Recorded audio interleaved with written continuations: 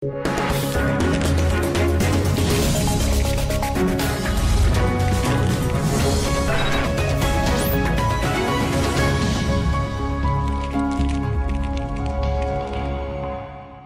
gördük dəyərli tamaşaçılar. Uzaqdakı yaxınlar verilişini izləyirsiniz. Qonağımız Danimarkada Azərbaycan musiqisini yaşadan və sevdirən Danimarka-Azərbaycan Dostluq Cəmiyyətinin Mədəniyyət Mərkəzinin rəhbəri, fəal diaspor nümayəndəsi Kəmalə Hüseynovadır.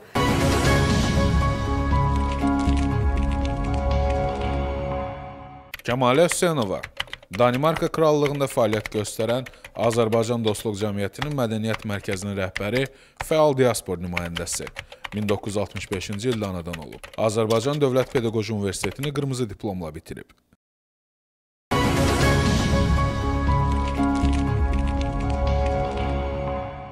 Kəmalə xanım, xoş gəlmisiniz vətənə. Sağ olun. Sizi sağ Kanal olun. 5-in efirindən salamlayıram. Təəssüratlarınız necədir? Çox sağ olun. Azərbaycana gəldiyim üçün çox xoşbəxtəm. Çünki son 10 ildə heç gəlməmişdim. Bir keçən il gəldim, mənə nəsib oldu gəlmək. Bir də bu il özümü çox xoşbəxt hiss edirəm və Azərbaycanın çox-çox Bakının özəlliklə çox dəyişdiyini görürəm. Ee, İstərdim ki, ilk öncə tamaşaçılar sizi yaxından tanımaqdan ötürü özünüz haqqında məlumat verəsiz. Adım Kəmalədir. Seynova ə, ə, Bakıda böyümüşəm. Ə, musiqi ə, məktəblərini Zajinski adına musiqi məktəbini bitirdikdən sonra ə, musiqi ə, tədrisi metodikası universitetdə musiqinin tədrisi metodikası fakültəsini bitirmişəm. Əlaçı diplomla bitirmişəm və o ildən də elə musiqi müəllimi kimi çalışıram. Fortepiano dərsləri verirəm. Danimarkaya köçdükdən sonra da elə öz ixtisasımı davam elədim. Çox şanslıyam ki, e, yəni bəxtim gətirdi deyə bilərəm. Çox kilsələrdə, hər yerdə dəvət olunduğum, hər yerdə çaldığım üçün, bir də klassik musiqi çaldığım üçün Danimarkada da qəbul olundum və çox məktəblərdən e, təklif aldım işləmək üçün. Hal-hazırda 4 və 5-ci də yoldadır. 5 məktəbdə e, dərs verəcəm. Əla, çox gözəl. Yaşadığınız Danimarka Respublikasında Azərbaycanı və Azərbaycanlıları necə tanıyırlar? Ümumiyyətlə Azərbaycan haqqında Danimarkalıların məlumatı varmı? Biz yeni gəldiyimizdə e, demək olar ki, bir e, 15 il əvvəl e, Danimarkaya birinci dəfə getmişdim. E, deyim ki, Azərbaycanı heç tanımırdılar. Mən özüm indi Hillerud şəhərində yaşayıram. E, Kopenhagendə də işləyirəm, amma nə qədər yəni Azərbaycanlıyam desəm də hardadır, heç yerini də bilmirdilər, harda yer olduğunu falan. Amma şükür Allaha son illərdir bir 5-10 ildir, 5-6 ildir deyim, daha çox tanımağa başladılar. Çünki məndən başqa hər halda başqa Azərbaycanlılarımız da var. Hərə öz ə, işlədiyi bir sahədə Azərbaycanı tanıtmağa çalışır. Mən də bacardığım musiqi yolu olduğu üçün öz ixtisasımla, öz tələbələrimlə, məsələ ə, pedaqoji kollektivimlə işlədiyim məktəblərdə onlara tanıda-tanıda Azərbaycanın ə, harda yerləşdiyini, dərdimizin, sərimizin hal-hazırda nə olduğunu, millətimizin ə, ə, necə bir millət olduğunu tanıtmağa çalışırıq. Bu qədər. Bax, hər bir ölkənin həyatında, istər mədəni həyatında, istər e, siyasi həyatında e, rol al almaqdan ötürü o cəmiyyətlə qaynayıb qarışmalısınız. Bəli, mütləq. E, siz e, necə e, Danimarka cəmiyyətinə uyğunlaşa bilmisinizmi? Belə deyək də, sizi qəbul edirmi Danimarkalılar? Çox Bir gözəl Azərbaycanlı sual olaraq. verirsiniz. Çünki həqiqətən bir Azərbaycanlı olaraq qəbul olunmaq ümumən bir İslam ölkəsi kimi qəbul olunmaq. Çünki Hə. biz müsəlmanıq, o, qədər də sevilmirik Avropada. Çünki son zamanlarda bilirsiniz, siyasi e, vəziyyətlə əlaqəli olaraq. Amma m, yəni mən həmkarlarımız hər kəs öz bacardığı yerdə həqiqətən Azərbaycanı gözəl təmsil eləyə bilirlər. Məsələn, gənclərimiz çox gözəl universitetlərdə oxuyurlar artıq istər-istəməz onları ə, o yoldan tanıyırlar. Bəzən idman sahəsində irəli çıxan uşaqlarımız olur onların sayəsində. Mən öz sahəmdə bir musiqi müəllimi olaraq demək olar ki, çox kreativ çalışıram. Çünki çox ə, cəmiyyətlərlə əlaqəli işləməyə çalışıram. Məsələn, Dünya Qadınlar Cəmiyyətinin üzvüyəm. UPF deyə bizim bir sülh orqanizasiyası var. Kopenhagenin təmsilçisiyəm deyə bilərəm sülh. Orada da artıq yavaş-yavaş bizim problemlərimizi açmağa çalışırıq. Biraz çətin olur Danimarka siyasətində bütün bu Bəli. məsələləri açmaq. Onlar o qədər açıq deyillər bu məsələlərə. Amma yavaş-yavaş bizi tanımağa başlayırlar və mən də buna çox sevinirəm. Heç əvvəlki kimi deyil. Öz sahəmdə isə sizə onu deyə bilərəm ki, mənim şəhərimdə Azərbaycan mahnılarını artıq oxuyurlar. Danimarkalılar çox gözəl, çox gözəl Muleyli bilirlər, Amanovçunu tanıyırlar, hətta sədalarını eşidən kimi oynamağa başlayırlar. Bir-iki sözü də bacardıqları qədər tələffüz edirlər. Muleyli, Asmarim beçem beçem, bu, bu, bu cür danışırlar. Bu da bizi sevindirir. Danimarkada yaşayan e, başqa ölkələrin diaspor nümayəndələri ilə, başqa ölkələrdən olan insanlarla münasibət necədir?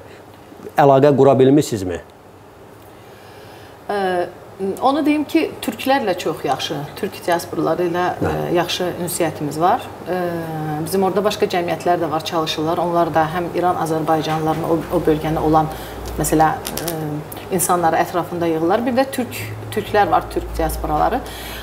Bu son 2 ildə mən daha çox bu işin içərisinə girmişəm, çünki onlardan dəvət almışam. Biz bir ansambl qurmuşuq. İki türk vətəndaşı və mən biz bir üçlü Neva qrupu yaratmışıq və bir xor yaratmışıq. İndi bu ildən əslində gələ, gələrkən bir konsert verdik, gəldik. Sevindirici də odur ki, türk sanat müziyi üzərinə işləyirik, amma onun yanında mən çox rica elədim ki, orada bir 10-15 dənə Azərbaycan mahnısı olacaq və çox sevə-sevə də qəbul elədilər o türk hocalarımız. Dedilər biz zaten Azərbaycanı çox seviyoruz. Onun üçün bizim mahnıları da çox sevirlər. Çox sevildiyi üçün biz e, hal-hazırda Danimarka publikasına, Danimarkalılara əslində bu mahnıları çatdırmaq istəyirik. Onların qarşısında çıxış eləmək istəyirik. Ona görə bu musiqi mədəniyyət yolu ilə yavaş-yavaş o türk diasporalarının da içərisinə girmişik. Hətta noyabrda bir dəvət almışam ki, biz də öz bayrağımızla gedib onların Türk Cümhuriyyət günü olacaq. Biz də onlarla bərabər öz bayrağımızla, öz mahnılarımızla, öz adamlarımızla birlikdə bu bayramı qeyd eləyəcəyik. İnşallah, inşallah. Cəmal xanım, Yəqin ki, ictimai-siyasi prosesləri izləyirsiniz. E, dünyada və Azərbaycanda baş verən hadisələrdən məlumatınız var. Bu sualı sizə niyə verirəm? Siz həm də fəal diaspor nümayəndəsiniz. Son zamanlar ölkəmizə qarşı belə deyim, sapı özümüzdən olan baltalar tərəfindən, həm də onların havadarları olan erməni lobbisi, Azərbaycana qarşı qərəzli olan beynəlxalq təşkilatlar və yaxud da dövlətlər tərəfindən bir qarayaxma kampaniyası aparılır. Bəzən bu söyüş, təhqir həddinə qədər gəlib çatır. Və bir Azərbaycan qadını kimi, musiqiçi kimi, diaspor nümayəndəsi kimi bu adamlara sözünüz nədir? Yəni bu bizə yaraşırmı? Təbii ki, bununla heç heç cür razılaşa bilmərik bir Azərbaycanlı kimi. Biz öz ölkəmizi orada bir gözəl yöndən tanıtmaq istəyirik. Heç bir pis tərəfi də yoxdur bizim əslində ölkəmizdə e, hər şey bu dəqiqə çox firavan, çox gözəl ə, e, görünür. Mən özüm ə, e, küçədə getdikcə özüm o qədər gözəl sərbəst hiss eləyirəm ki, hər şey çox dəyişib, gözəlləşib. Ə, bununla bununla yanaşı da ə, məsələn Leyla xanımın Xocalıya ədalət kampaniyasının məsələn aparılması istər-istəməz bütün ölkələrdə biraz diqqət cəlb olunur. Var. Məsələn, çünki çox böyük bir işdir. Bu bu il mən doğrudan da biz özümüz də keçiririk Xocalı e, günü hər zaman. Amma e, bu il məsələn mən Avropa ölkələrində bunun çox böyük bir fəallıqla keçirildiyini gördüm. Hər yerdə Azərbaycan bayraqları, insanlar küçələrdə o bayraqları belə yelədə-yelədə gedirlər. Adam çox ləzzət eləyirdi həqiqətən. Bir-birimizlə də danışırıq. Məsələn, Macarıstan, Finlandiya, İsveç, Hollandiya bu ölkələrlə belə sıx əlaqələrim var. Qadınlar cəmiyyəti ilə əlaqələrimiz var. Yəni həqiqətən bu qaralama kampaniyasını yəni pisləyirik əslində. Danimarka məsələn mən Danimarkalı dostlarım çoxdur, kolleqalarım çoxdur. Onlarla həmişə bu mövzuda danışıram. Deyirəm ki, siz Azərbaycanı yaxşı tanımaq üçün biraz Azərbaycana gedin, biraz YouTube-dan araşdırın. Bir baxın, siz görəcəksiniz ki, biz o deyildiyi qədər pis ölkə deyilik və heç bir aqressiyamız yoxdur. Heç kimin Nə? ölkəsində, heç kimin torpağında bizim gözümüz yoxdur. Əslində biz özümüz çox yaralı vəziyyətdəyik. Əslində belədir də, bizim üçün də maraqlıdır. Həm də təəssüf verici haldır ki, bax siz Xocalıya ədalət kampaniyasından danışdınız. Bizim yaralı yerimiz olan Qarabağdan danışdınız.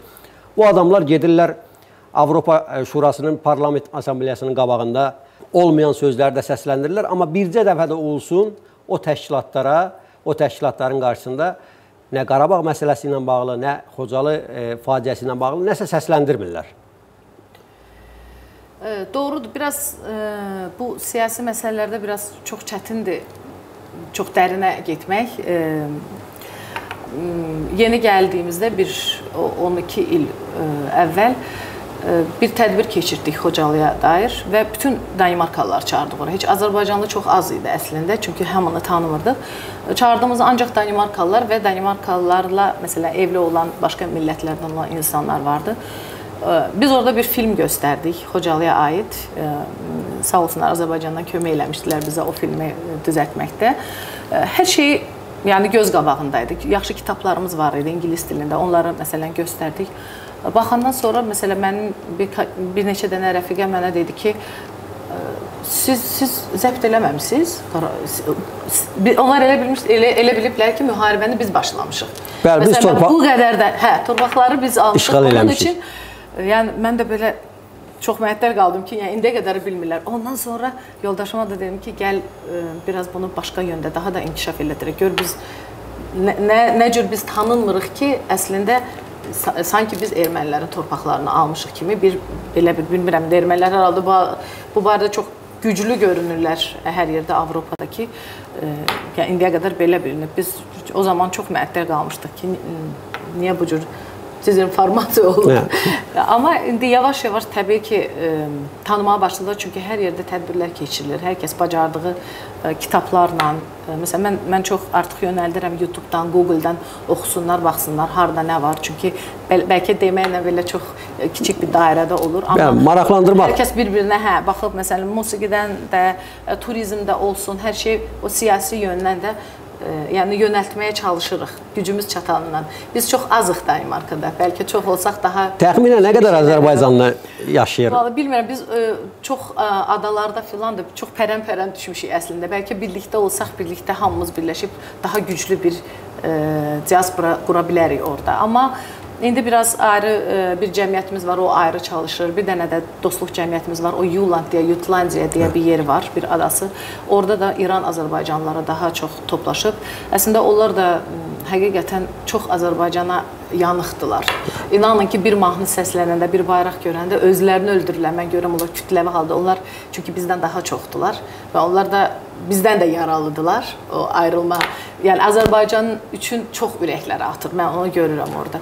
Onun üçün belə ayrı-ayrı qrup şəklində hər kəs bacardığını eləyir. Amma kaş ki Danimarkada məsələn daha bir böyük mərkəzimiz olsaydı, kaş ki bir daha bir əlaqəli ə, Azərbaycanla əlaqəli bir daha güclü bir ə, bir şey qura bilsəydik ki, daha da səsimizi ə, çatdıra bilək. Elə mən bu sualın ə, üstünə gəlmək istirdim. Artıq dünyanın bir çox ölkələrində Azərbaycan diasporları birləşiblər, eyni mərkəzdən çıxış eləyirlər, qüvvələrini birləşdiriblər. Mən çox istərdim ki, Danimarkada olan Azərbaycan diasporlarda şəxsən siz bunu təklif eləyə bilərsiniz, təşəbbüs göstərə bilərsiniz ki, istər Cənubi Azərbaycanla olanlar, istər bizlə qan qardaşımız olan e, e, türklər və Azərbaycan diasporu birləşərək vahid mərkəzdən çıxış eləsinlər. O çox gözəl olar. Əslində bu mən dedi Çox sağ olun. Sanki biraz məni e, itələdiniz bu mövzunun üzərinə.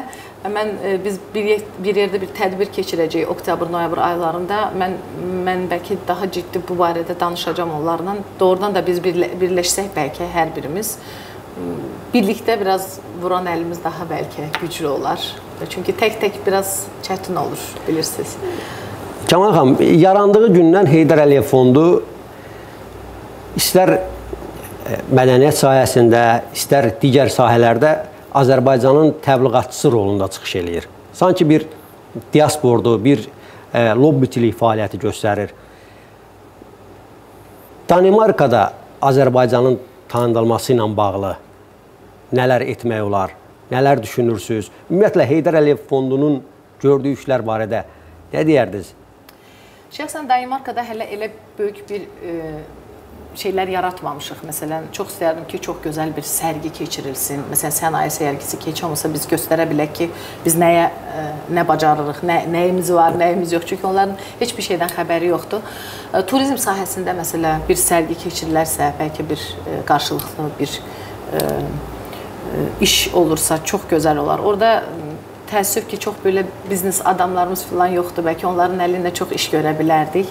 İndi mən mədəniyyət sahəsində bacardığım işləri görürəm. Musiqimizi tanıtmağa çalışıram. Azərbaycan musiqisini hər yerdə yaymağa çalışıram. Nə bilim qadınlarımız gözəl bir şeylər hazırlayırlar, mətbəximizi tanıtmağa çalışırıq. Onlara göstəririk, səfalı yerlərimiz var, onlara gəlib getsinlər. Bizim tanıdığımız insanlar, kolleqalarımız, onlar da bir-birinə öt ötürürlər. Amma mən eşidirəm ki, Avropanın çox yerində Mehriban xanımın təşəbbüsü ilə məsələn Nizami Gəncəvinin heykəli qoyulub, bizim dahilərimizə heykəllərin qoyulması, onların alması bu böyük proyektlər daha daha effektiv olur. Təbii ki, e, məsələn, duyduğuma görə ə, e, mən özüm görməmişəm, amma duyduğuma görə e, heykəllərin üzərində məsələn dahi Azərbaycan şairi Nizami Gəncəvi sözünün yazılmağı bu özü də çox gözəl bir şeydir. Hər kəs oxu, oxuduğunda onun Azərbaycan bəli, şairi olduğunu bəli.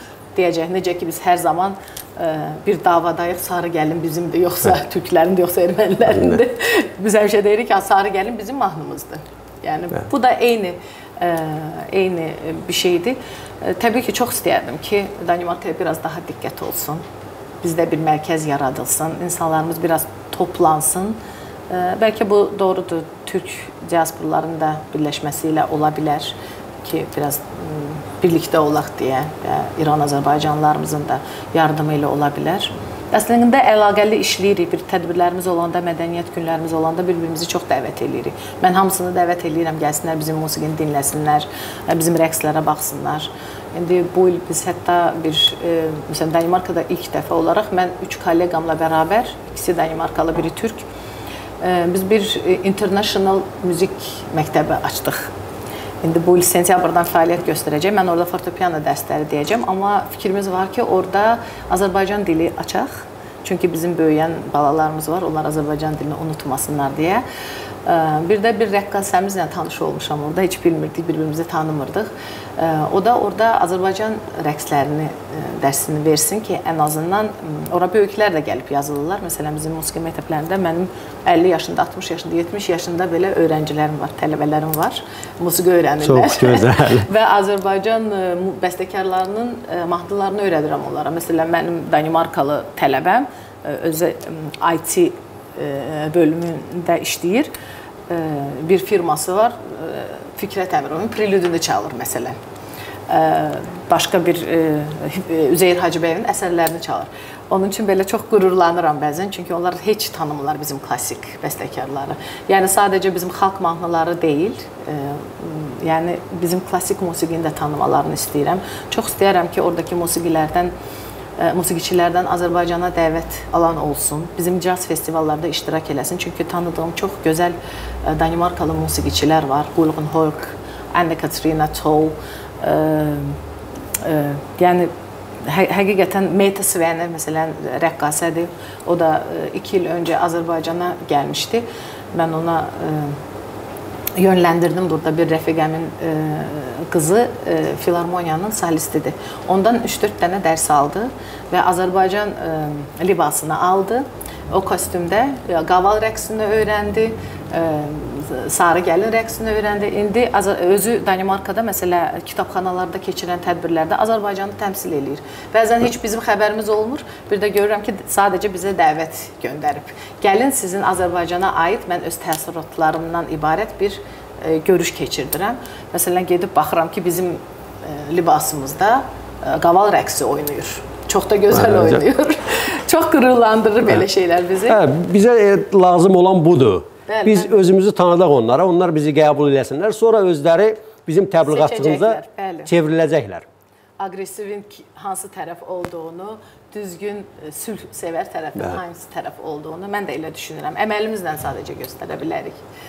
Bu e, Azərbaycan dilində məktəblərin açılması ilə bağlı fikrinizi alqışlayıram. Dünyanın bir çox yerlərində var ki, Bəli. Azərbaycanlıların öz dilini unutmamağından ötürü, təbii ki, böyüyən nəslin öz dilini unutmamağından ötürü məktəblər açılıbdır və çox sevindirici haldır ki, bu e, məktəblərin e, kitab təminatını da Heydər Əliyev fondu öz üzərinə götürüb, şəxsən Leyla xanım təşəbbüsü ilə 10 mindən artıq kitab paylanılır və pulsuz Çox paylanılır.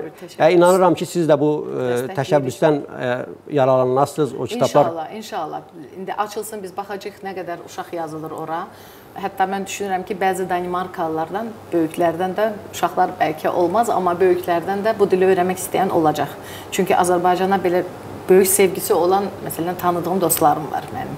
İnşallah ki, e, yəni məktəbimizin işi uğurlu olar. Hələ heç bir şey söyləyə bilmərəm, amma çox çalışacağıq ki, orada bir belə Azərbaycan bölümü quraq. İndi təbii ki, orada İspan İnşallah. dili də var, Danimarka dili də var, İngilis dili də var. E, Hər cür hər yöndə e, çünki oradakı e, kommunal musiqi məktəblərində biz bunu açma ixtiyarımız var. Yəni o çox çətin deyil. E, Artıq e, Copenhagen e, kommun deyilə kommundan da şey almışıq, dəstəyini almışıq. Onlar bizə yardım eləyəcəklər. Dedilər tək ki sizin istəyiniz olsun, tək ki sizə o e, şöbələrə gəlmək istəyən uşaqlarınız, böyükləriniz olsun. İnşallah gözəl nailiyyətlərimiz olursa sizlə bölüşərik. İnşallah Kəmal xanım qonağımız olduğunuz üçün sizə təşəkkür eləyirəm. Mən təşəkkür Və inanıram ki, həmişə olduğu kimi yenə də Azərbaycanı, Azərbaycan mədəniyyətini, Azərbaycan musiqisini tək Danimarkada deyil, bütün Avropa ölkələrində, bütün dünyada sevə-sevə davam elətdirəsiniz. Çox sağ olun. Çox sağ olun dəvətiniz üçün. Belə dəyərli izləyicilər, daha bir qonağımızla söhbət etdik. Növbəti uzaqdakı yaxınlar verilişini izləmək arzusuyla sizinlə sağollaşıram.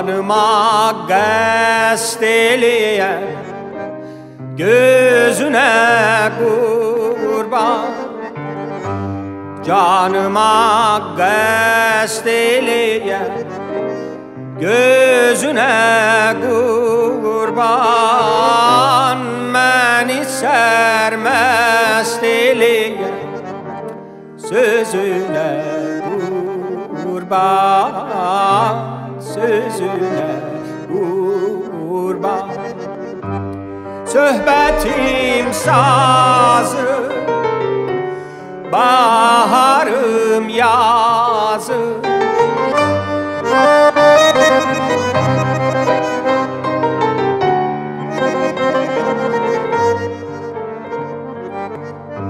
Söhbetim sazı Bahar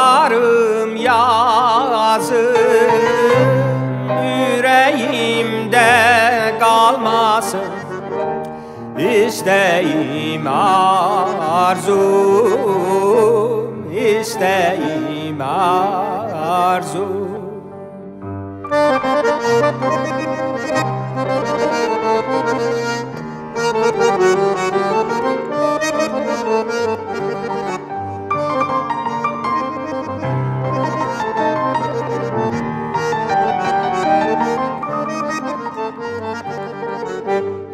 Geceler min hayale Kalıram sensiz Geceler min hayale Kalıram sensiz Etrini Alıram sensiz Alıram sensiz. Söhbetim sazı Baharım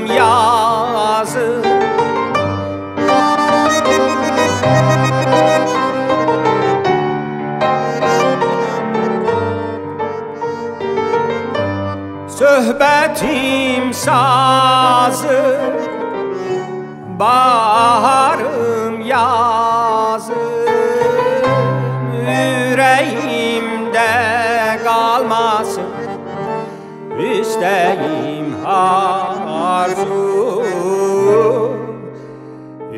İsteyim arzum